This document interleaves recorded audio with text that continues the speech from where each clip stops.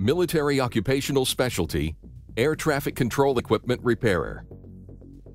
This MOS helps ensure flight safety by maintaining air traffic control equipment in accordance with U.S. Army and Federal Aviation Administration flight safety standards.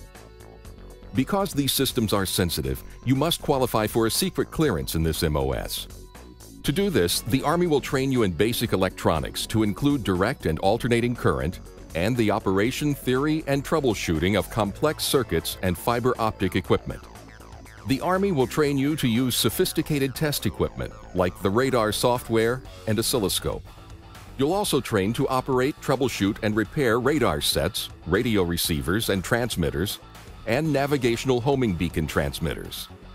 After your initial entry training and advanced individual training, you'll work day or night supporting Army operations, where your duties may be to troubleshoot and repair air traffic control equipment in a tactical or fixed-based facility.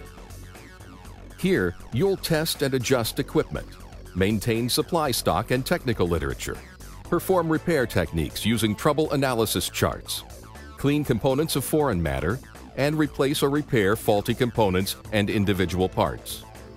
Serving in this MOS can help you transition from the military to the civilian employment sector because your skills in leadership, teamwork, and problem solving are skills and values in demand by civilian employers. The men and women in this MOS keep our pilots safe by maintaining the Army's flight control equipment.